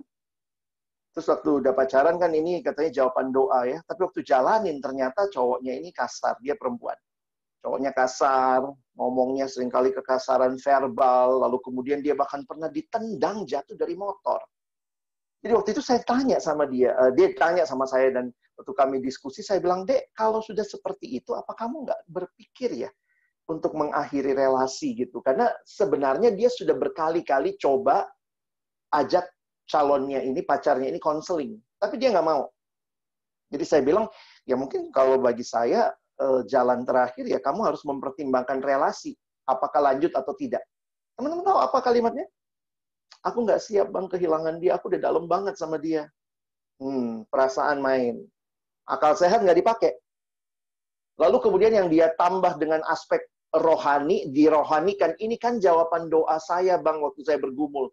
Saya bilang, itu waktu kamu bergumul jadi pacar. Tetapi waktu jalanin pacaran, kadang-kadang ada orang hanya berdoa di awal mau pacaran. Waktu jalanin pacaran seolah-olah ini ini sudah dari Tuhan, maka tidak ada lagi no turning back. Saya pikir enggak, sebelum pernikahan, pakai akal sehat, komunikasi dengan dalam, terus berserah sama Tuhan pahami. Jadi jangan hanya berkata, saya sudah, ini jawaban doa, lalu kemudian saya tutup mata. No. Jadi ini teman-teman pahami ya, kenapa abang agak lama di aspek ini. Karena jujur aja, kadang-kadang saya, saya melihat kita nggak realistis dan hanya menegankan satu bagian. Ini kan jawaban doa Tuhan, ini jawaban doa Tuhan. Tapi kalau udah secara akal sehat dia berani melakukan kasar sama kamu, ini di, di, di kehidupan rumah tangga ini calon-calon KDRT.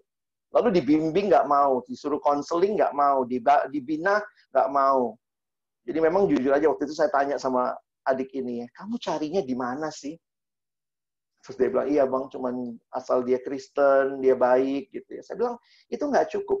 Beberapa kali datang persekutuan, pacarnya ikut, tapi tunggu di motor di luar. Saya bilang, kamu harus bertimbangkan lagi soal dia sayang banget, bang, dia anaknya baik banget. Itu cuma masalah perasaan. Tapi kamu mesti berpikir, dia bertumbuh nggak? Dia datang gereja tapi nunggu di parkiran, itu bukan datang gereja, nungguin kamu, gojek mungkin dia.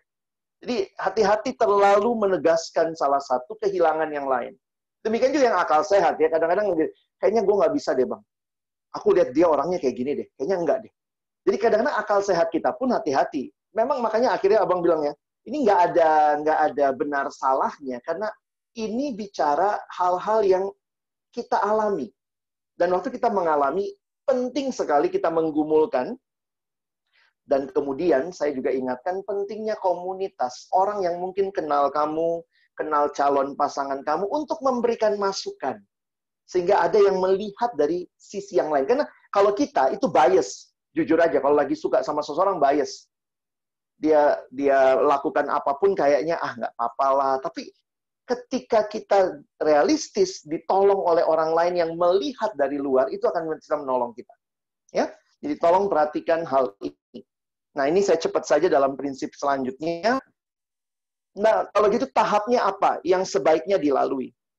Perhatikan, saya tulis juga sebaiknya. Kenapa? Karena memang jujur aja ini sebenarnya sesuatu yang tidak ada teori khusus di Alkitab. Nah, Alkitab jujur aja ya, semua itu bicara kalau Alkitab tidak bicara pacaran, tapi bicara pertunangan dan pernikahan. Karena budaya mereka pengenalannya itu namanya pertunangan.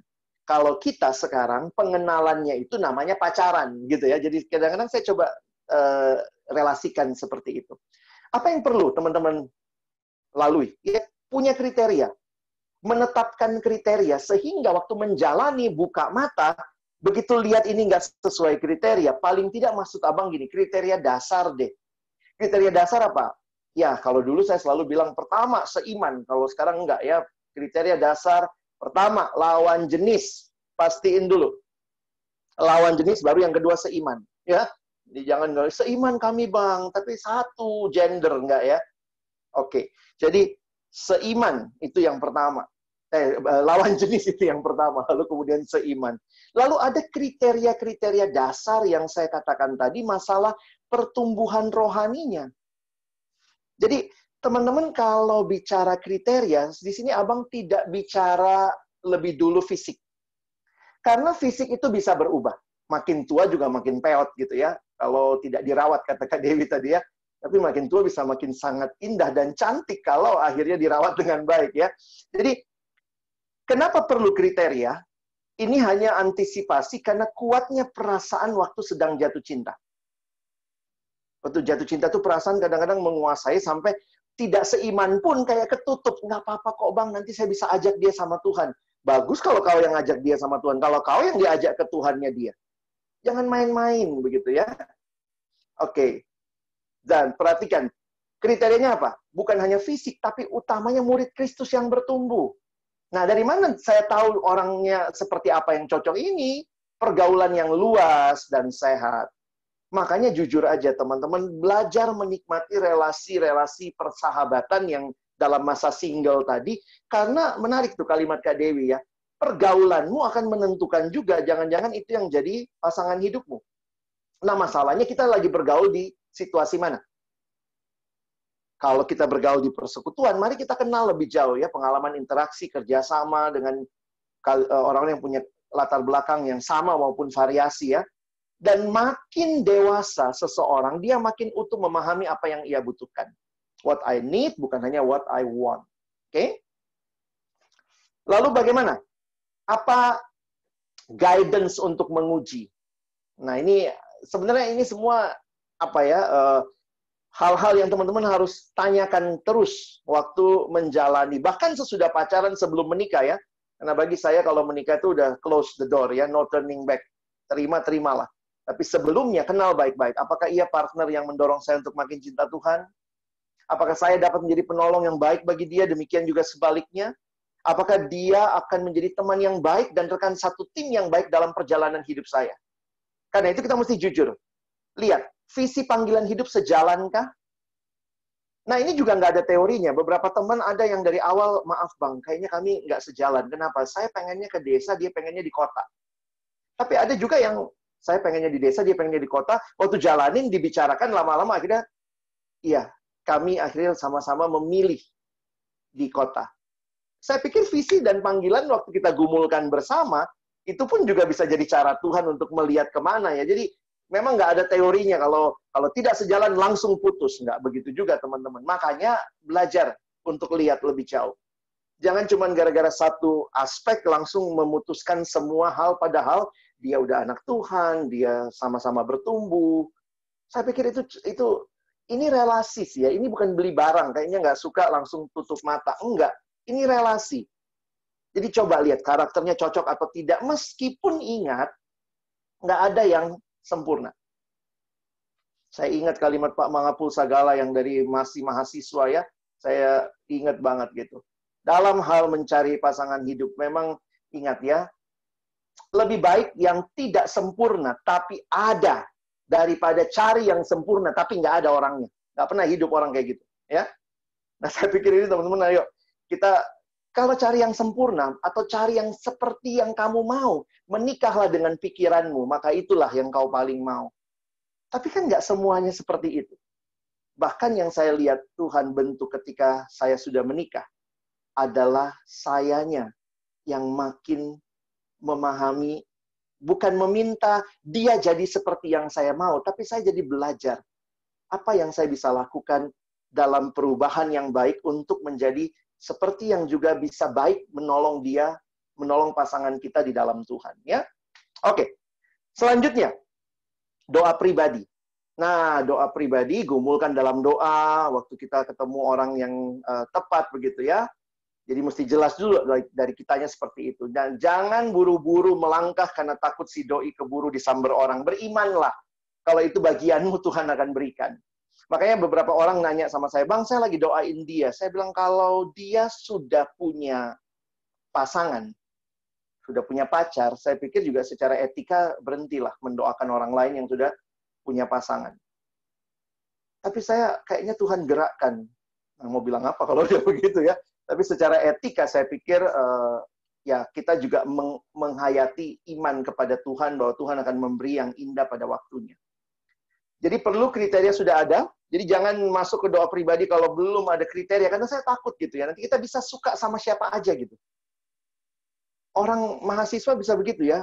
Eh, KKN kuliah kerja nyata ke daerah berapa minggu tinggal bareng itu gampang loh memunculkan rasa suka karena apa? Kedekatan komunikasi itu juga aspek yang membangun perasaan suka. Tapi kemudian langsung akal sehatnya, jeng jeng jeng, nggak seiman, jeng jeng jeng, nggak seiman. Jadi jangan cuma komunikasi, tapi juga akal sehat dipakai, gitu ya. Nah, si counsel tadi yang abang bilang ya, pentingnya komunitas. Hati-hati dengan masa-masa ini, karena memang ya kalau kita lagi seneng gitu ya, doa pribadi pun bias lah, kadang-kadang bias. Saat teduh kayaknya semua bicara tentang kita suruh nembak dia, kita suruh nembak dia ya. Jadi kayaknya semua dapat konfirmasi, padahal jelas-jelas misalnya saat ini tentang Yesus kesalib. Tapi kayaknya waktu kita renungkan, oh iya ya, aku kayaknya harus berkorban untuk dia. Nah itu hati-hati biasnya. Nah kalau sudah masuk ke doa pribadi, dapat keyakinan, mari ajak berdoa bersama. Memang di sini ada masalah etis, di Indonesia, budaya timur, harusnya kan laki-laki yang sebaiknya berinisiatif. Tapi banyak laki-laki persekutuan aduh, lemah banget inisiatifnya. Ini gimana ini ya? Abang juga bingung ya, tapi nantilah kita bicarakannya. Mari belajar.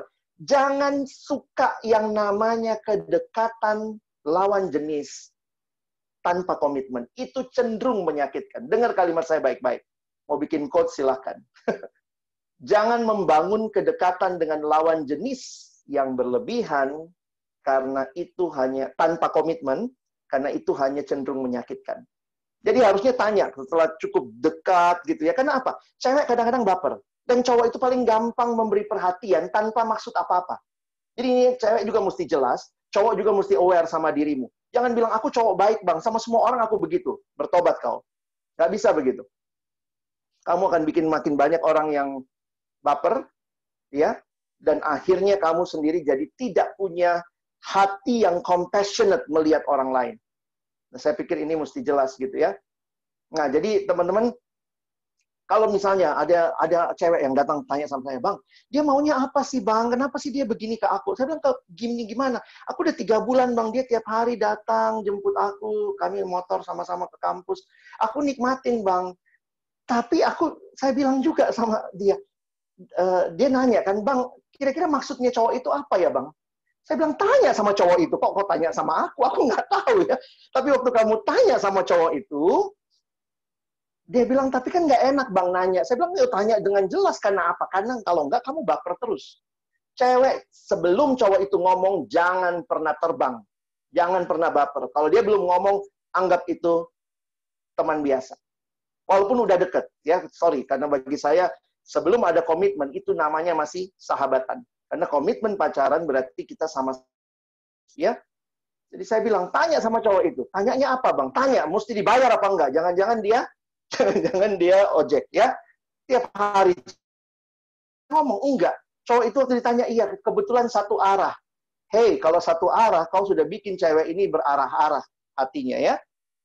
Oke, sudahlah. Ya, terakhir. Ambil keputusan ya, ambil keputusan. Ini yang cewek-cewek yang banyak setuju. Ini cowok-cowoknya yang kurang ajar berarti ya. Sorry ya, ini cowok-cowok yang nggak berani ambil keputusan. Saya bilang di di ini ya, eh, di seminar-seminar seperti ini. Kalau kamu tidak siap ditolak, takut ditolak, berhenti jadi cowok. Udah nasib kita itu. Ya. Oke. Terakhir ambil keputusan, ya. Ambil keputusan. Jadi kalau sudah doa sama, nah bagaimana doa bersama sebaiknya ada jangka waktu. Jangan kita doa bersama, Bang. Iya, saya tanya. Jadi kapan keputusannya? Keputusan apa, Bang? Lah, kamu kasih waktu berdoa bersama nggak ada batas waktunya, Dek? Enggak, Bang. Jadi sampai Tuhan Yesus datang mau begitu terus? Nggak bisa ya. Jadi uh, kita mesti jelas nih ya teman-teman ya. Mari ada batas waktunya batas waktu ini siapa yang nentuin ya? Kita tentuin sama-sama lah ya. Jadi kira-kira ini jadi kesempatan gitu untuk kita melihat prosesnya supaya teman-teman juga bisa move on kan. Kalau ternyata dia bilang tidak, mau kau doa dua malam lagi dia bilang tidak juga. Tapi selesaikan dulu. Kalau nanti mau maju lagi, ada juga kan yang ditolak tiga kali baru diterima ya. Tapi selesaikan dulu. Oke, mungkin maju lagi dua bulan. Kalau ternyata memang hatimu masih sama dia, maju lagi. Tapi kemudian kalau ditolak ya berhenti dulu gitu ya. Nah, berdasarkan pertimbangan yang matang, nah ingat tidak ada menang kalah dalam diterima dan ditolak ini. Dan pergumulannya bukan itu ya, saya bertanya kamu menjawab ya. Kalau saya tuliskan di sini, yang terjadi adalah kedua belah pihak datang bersama, makanya cari yang seiman, yang benar-benar bisa ikut bergumul di hadapan Tuhan untuk mencari pimpinan Tuhan dengan melihat apakah cocok atau tidak. Jadi keputusan harus didasarkan pada pertimbangan. Pertimbangannya apa? Apakah Tuhan memimpin untuk memasuki langkah selanjutnya atau tidak? Baik memimpin yang pria maupun yang wanita. Nah, ini slide uh, terakhir lah ya. Apakah langkah-langkah ini menjamin keberhasilan 100%? Tidak, nggak ada teorinya. Tapi kerelaan menempuh kerepotan ini ya, mulai bikin kriteria, akan menurunkan kemungkinan repot di belakang hari. Dalam banyak kasus, baik putus waktu pacaran maupun cerai setelah menikah, ketika saya gali-gali, masalahnya ada dengan tidak melewati tahap ini. Makan setia mengerjakan PR di tahap ini, tahap demi tahap. Makin kecil resiko salah pilih dan miskin adaptasi. Kiranya Tuhan menolong teman-teman. Ini masa yang indah karena Tuhan ada dan mau membimbing kamu menjalaninya. Karena itu jalanilah dengan berserah pada Tuhan. Amin. Terima kasih Bang Alex untuk pemaparannya. Eh, teman-teman, uh, sekarang udah 10.26, karena itu jelas kita mau ada tanya jawab, karena udah banyak pertanyaan yang masuk. Aku udah punya Microsoft Word dua halaman dari pertanyaan teman-teman, dan aku yakin itu uh, gak mungkin ya benar-benar dijawab satu-satu, karena itu mungkin aku akan mencoba menyimpulkan tapi dari awal aku mungkin minta kesediaan teman-teman untuk boleh stay lewat dari waktu mungkin sampai 10.45 untuk boleh membahas hal seperti ini kayak gitu ya. Dan aku juga meminta kesediaan Kak Dewi sama Kak Alex untuk mungkin boleh memberikan jawaban-jawaban cepat atau singkat supaya banyak yang tercover. Aku mulai dari Kak Dewi dulu ya. Uh, Kak Dewi banyak yang nanya nih, uh, ada banyak yang say thanks dan banyak nanya Kak Dewi itu gimana waktu itu ceritanya memutuskan dari single, kemudian tahu ini panggilan menikah, kemudian bagaimana mempersiapkan diri jadi pendukung buat uh, Bang Peter, terus uh, waktu bergumul tuh ada perasaan seperti apa gitu. Nah Kak Dewi mungkin boleh ceritakan uh, kira-kira pengalamannya gimana dari single transisi ke menikah, mempersiapkan diri jadi pendukung istri yang baik dan uh, waktu pendekatan apakah ada pertimbangan atau ada pergumulan yang bikin ragu atau mungkin waktu itu sempat hampir nggak jadi kah atau kayak gimana? Mungkin Kak Dewi boleh sharing pengalamannya Kak, silakan Kak.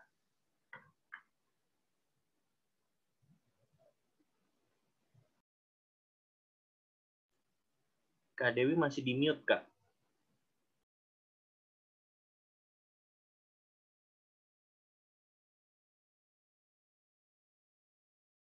Ya, terima kasih pertanyaannya.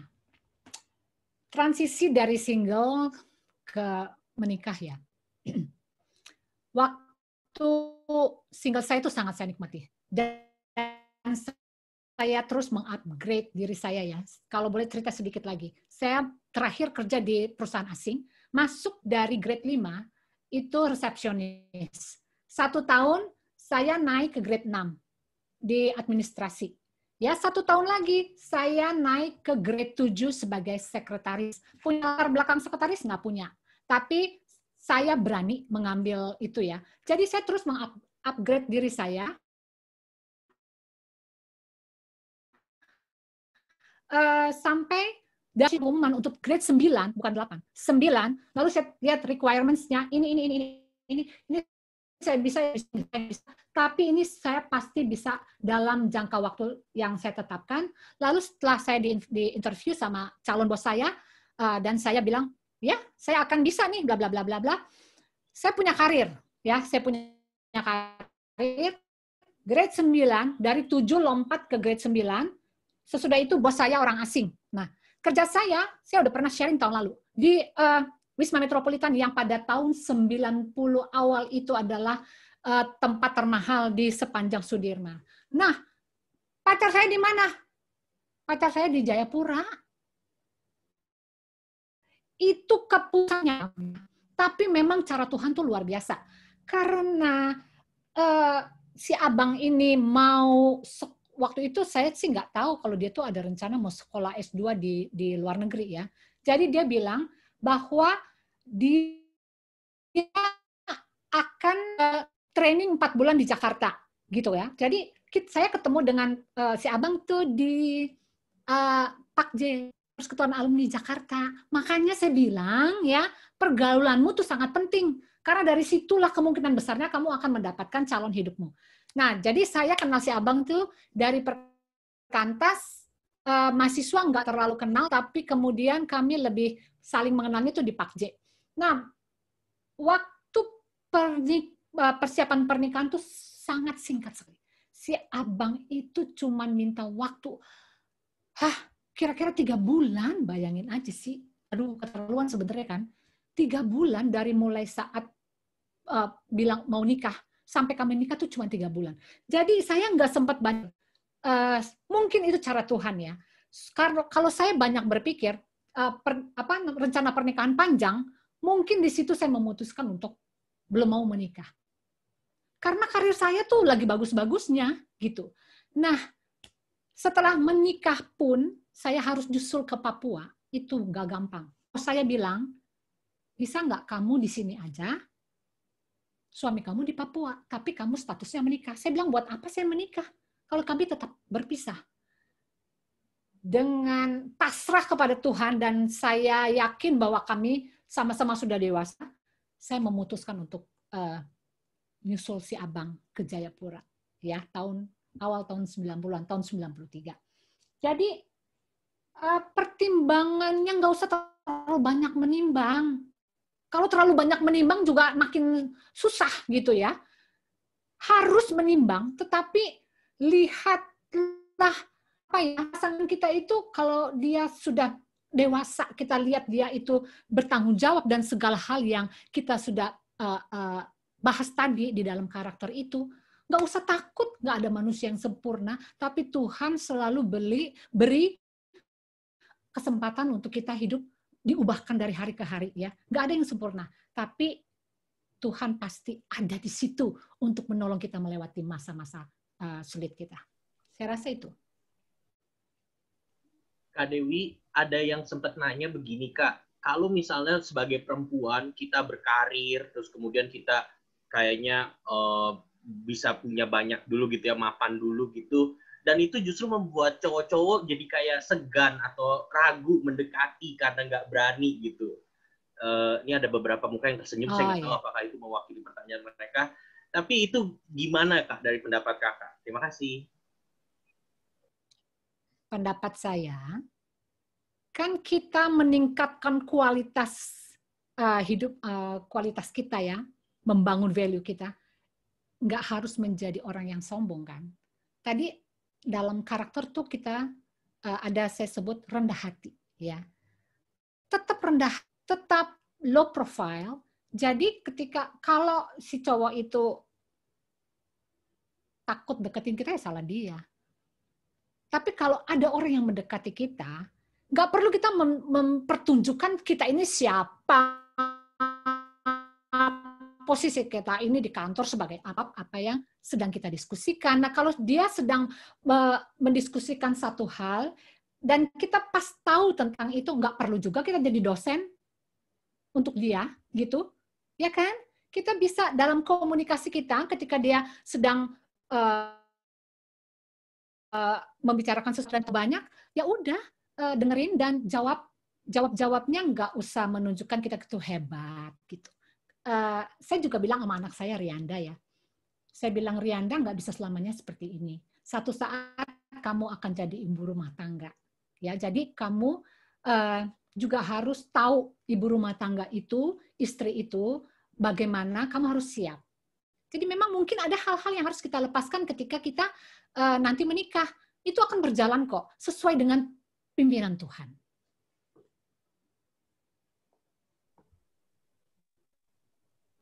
Oke, terima kasih Kak Dewi. Uh, aku mungkin beralih ke Bang Alex dulu.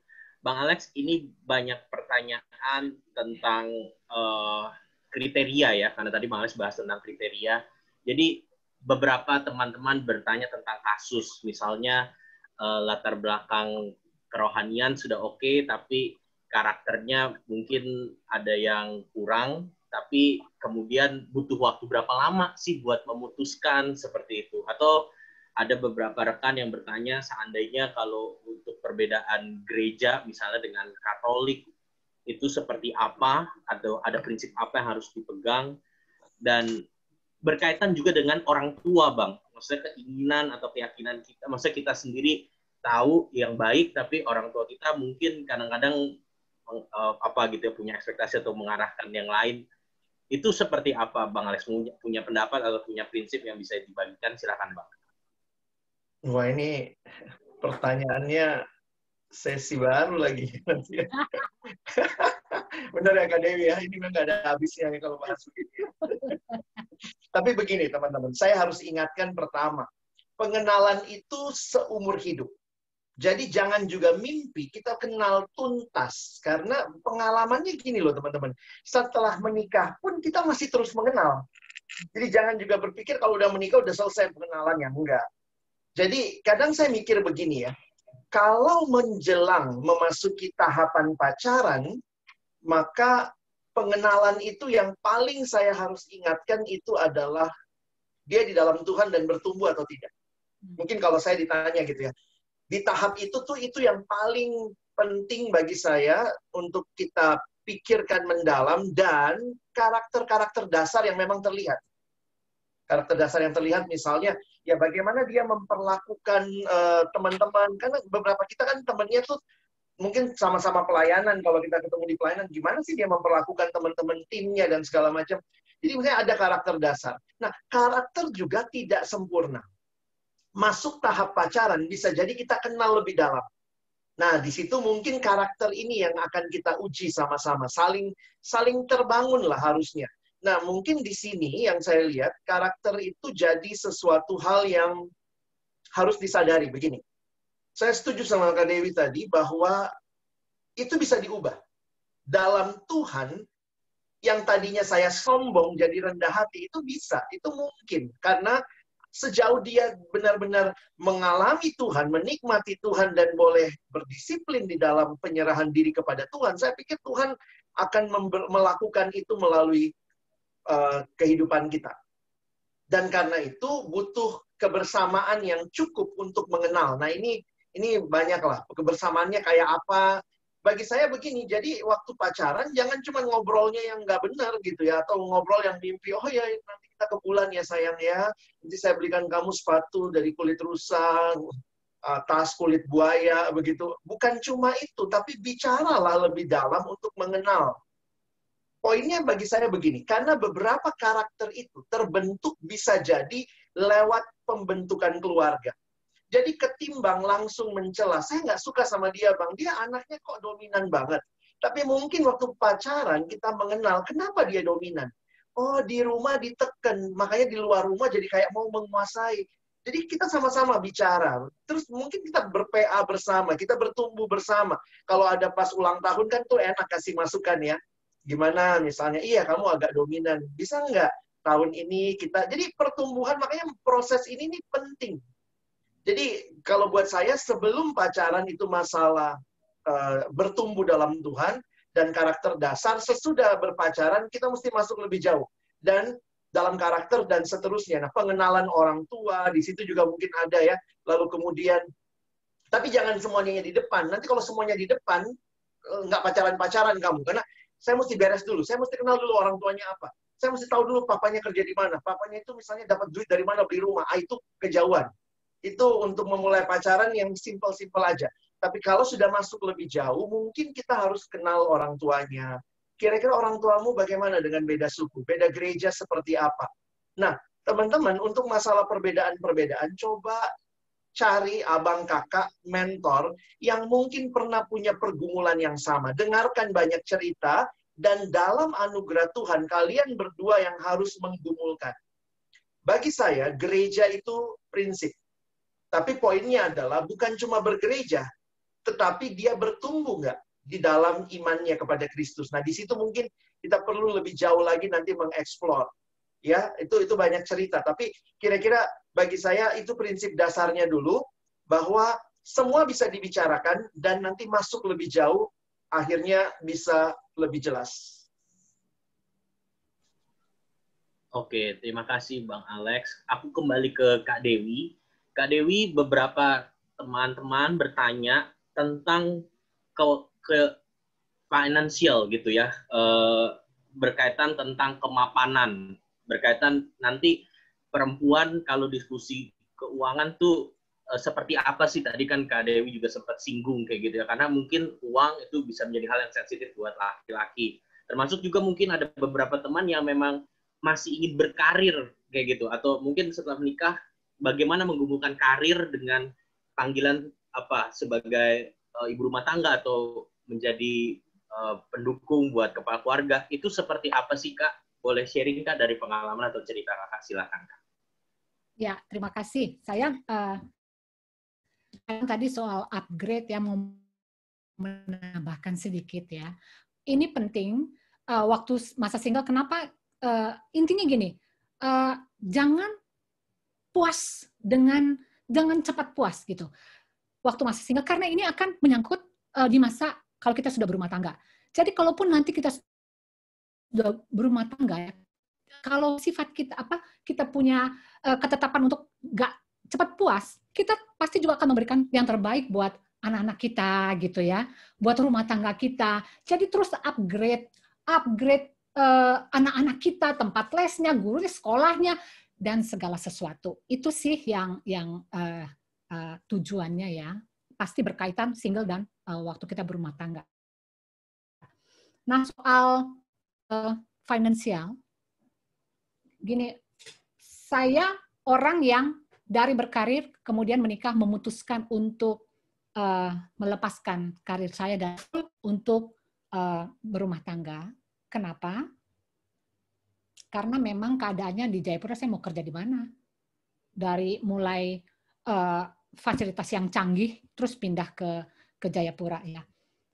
Uh, dan buat kami pekerjaan suami saya itu uh, cukup gitu ya. Maksudnya soal uang tuh cukup relatif sedikit cukup banyak juga habis Waktu kita nggak suami gajinya kecil kan cukup aja. Tapi suami dia untuk teman-teman uh, perempuan yang masih harus bekerja ya, masih harus bekerja. Kalau harus soal finansial ya, kita kan harus terbuka nih. Suami sama istri harus terbuka. Tapi kalau bisa, kalau kalian sudah punya tujuan dalam masa pacaran udah serius, lalu uh, akan nikah, bicarakan itu soal keuangan finansial. Terbuka ya. Mau siapa yang ngatur? Jadi belum tentu perempuan itu bisa mengatur uang loh. Ada yang nggak bisa ngatur uang. Jadi kalau itu mau dipegang oleh suami, yang penting suami terbuka, ya gajinya kok. Jadi kita bisa juga lihat rekening rekening uh, uh, bersama rekening bersama. Maksudnya rekening suami, suami bisa lihat rekening kita. Jadi harus terbuka. Soal siapa yang yang pegang itu sepakati aja bersama, ya.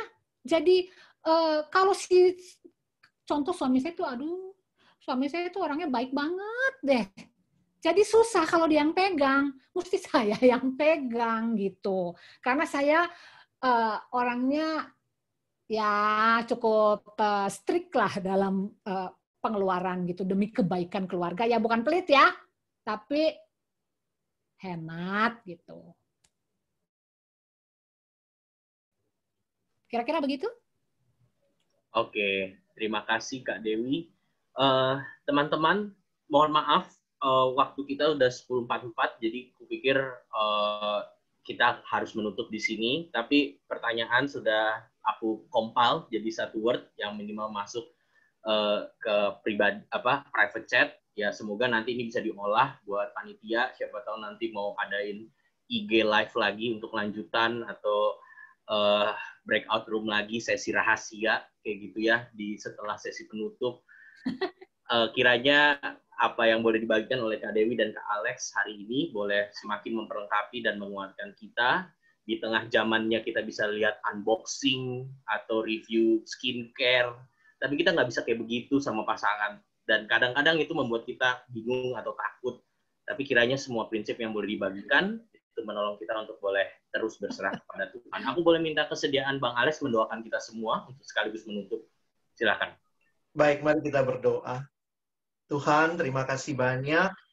Karena kami mau bergumul serius dengan kehidupan kami, baik waktu masih single maupun juga ketika kami sudah masuk dalam relasi berpacaran dengan lawan jenis, itu semua terbukti nyata melalui Kapita Selekta hari ini yang sama-sama kami perjuangkan, kami gumulkan, kami doakan, kami tanyakan Walaupun tidak semua pertanyaan bisa dijawab, tetapi biarlah prinsip-prinsip kebenaran tentang iman dalam Tuhan, spiritualitas, karakter, bisa menjadi patokan dasar ketimbang sekadar kemolekan fisik, ketampanan, ataupun juga perasaan-perasaan yang begitu mudah mendominasi hati kami.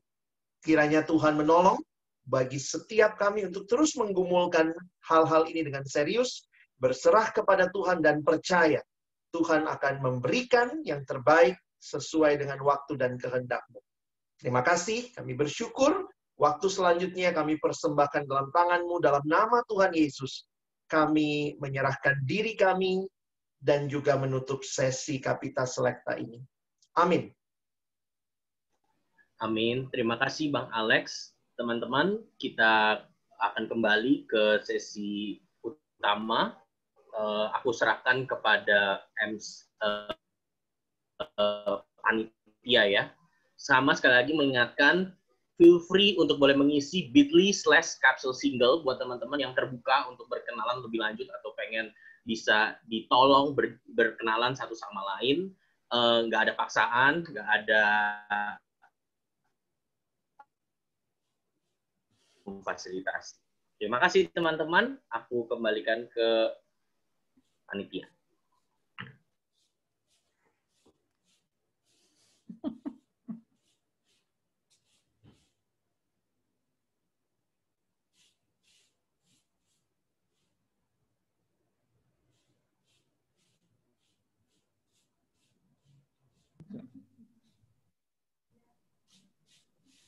Ya, Uh, shalom Abang Kakak alumni. Terima kasih sudah bergabung di sesi kapsel single KPA yang ke-15 secara virtual dengan tema I'm ready for you. Pertama-tama kita mengucap syukur untuk kakak abang yang telah bersedia melayani di sesi kapsel ini. Narasumber kita ada Bang Alex Nanohi dan Karina Dewi Rumapea, serta moderator kita ada Renaldi Filipus. Mari kita apresiasi para pelayan kita dengan mengaktifkan kamera, memberikan tepuk tangan, atau memberikan emoticon kepada abang kakak kita. Kiranya Tuhan memberkati pelayanan, kesehatan, dan keluarga kakak abang sekalian. Yeay.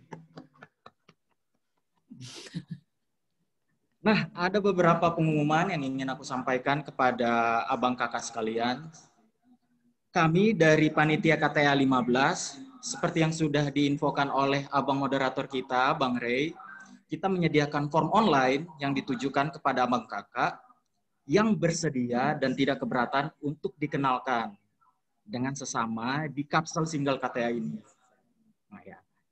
Jadi abang kakak silakan mengisi formnya sampai uh, sesi ini berakhir sesuai dengan jadi isi formnya itu ada data diri, ada data diri uh, calon preferensi preferensi calon kriteria dari abang kakak itu sendiri.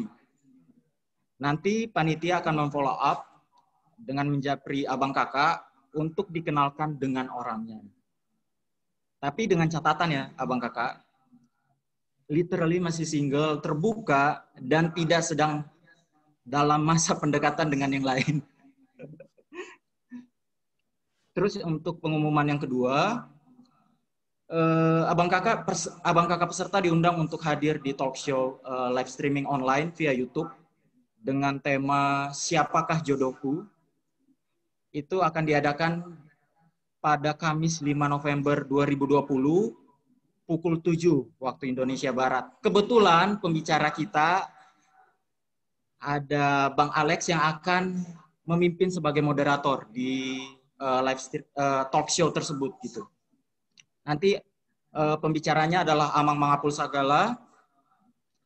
Jadi nanti abang kakak tinggal masuk ke YouTube dan search uh, apa namanya akun Amang Mangapul Sagala. Kemudian untuk pengumuman yang terakhir, jadi kurang lebih kita li 10 menit sampai 15 menit lagi kita akan masuk ke dalam sesi terakhir, yaitu sesi eksposisi 3 dengan tema berjuang untuk kekekalan. Jadi diharapkan abang kakak yang ada di sesi single ini, di room ini, untuk stay sambil menunggu para peserta dari kapsel keluarga untuk join. Nah, setelah itu kita akan masuk ke dalam sesi games, abang kakak, sebelum kita masuk ke uh, sesi ketiga atau sesi terakhir. Nanti gamesnya akan dipimpin oleh Kak Ona dan Kak Alfi. Diharapkan abang kakak menyiapkan kuotanya dan sinyal yang terbaik supaya bisa menjawab eh, pertanyaan-pertanyaan atau kuis yang akan dipimpin oleh uh, panitia. Jadi kurang, kurang lebih seperti itu abang kakak. Terima kasih. Sekarang kita menunggu para peserta dari kapsul keluarga untuk masuk ke sesi single.